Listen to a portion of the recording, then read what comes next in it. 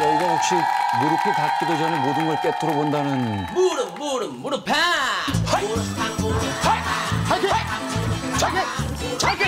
화이팅! 화이팅! 손들 화이팅! 화이팅! 자! 화이팅! 아! 화이팅!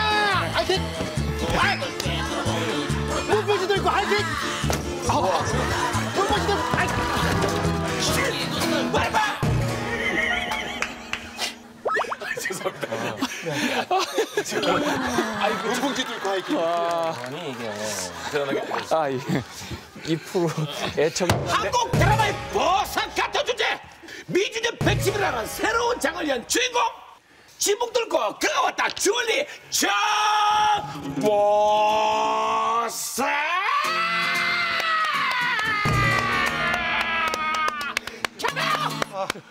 너무나 너무나 뵙고 싶었습니다. 아유, 아, 정구석 씨.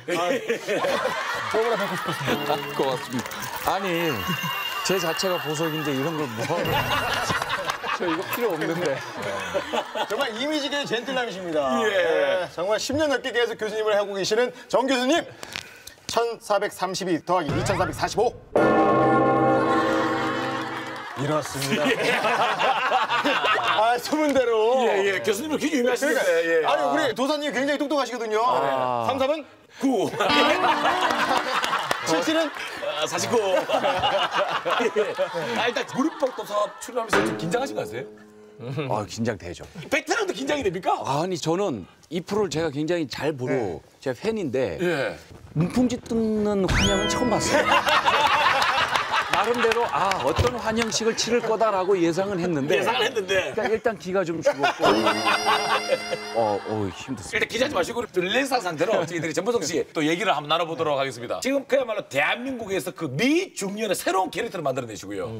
정말 대단한 인기를 확보하고 있는 이 와중에 무슨 고민이 있어서 이 무릎박도사를 방문해 주십니까?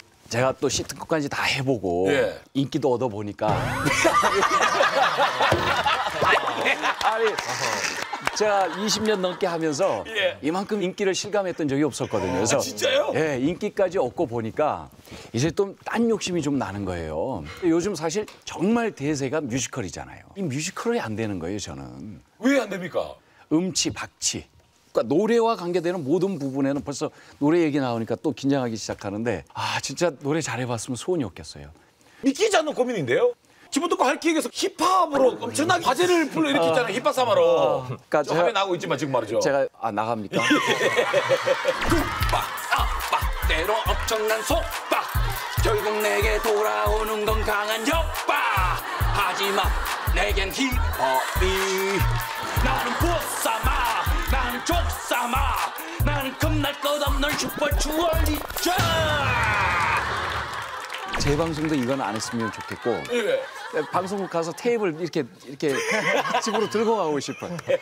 아니 그러면 본인이 엄지라는 걸 언제 깨닫게 됐습니까? 대학 입학을 하는데 예. 합격증을 받으러 갔더니 연극할 사람 모이라고 거기다 써놓은 거예요. 그래서 예. 달려갔더니 뮤지컬 연습하고 있는 거예요. 무조건 한다고 그랬죠. 예, 경험 조금- 되니까. 네, 조금이라도 배우려고. 근데 노래를 하다 하다 안 되니까 선배님들이 립싱크를 해라. 입만 뻥긋 거려라 그냥. 네.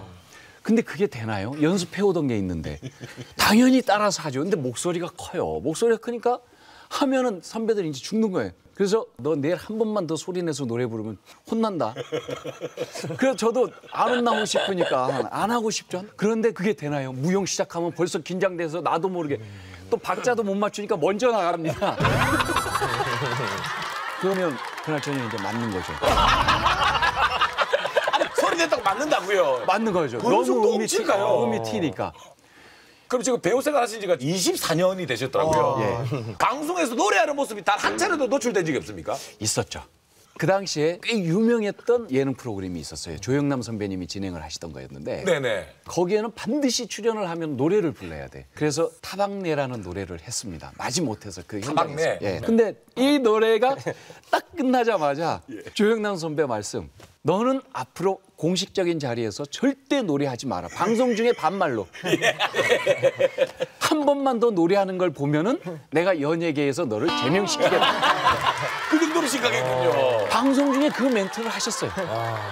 아니 그러면 저희들이 이게 얼마나 진정성 있는 고민인지 노래를 안 들어볼 수가 없습니다. 그럼 일단 우리가 무릎부터 사사상 최단기간에 일단 마이크를 들 테니까 노래부터 일단 부르고 보고 벌써요? 진정성을 저희들 확인해야 되지 않습니까? 어, 저희가 보통 이게 마이크를 드리는 게 본인의 인생 얘기 거의 후반쯤에 그렇죠, 이제 아, 마지막에. 네, 그렇더라고요. 그래서 네.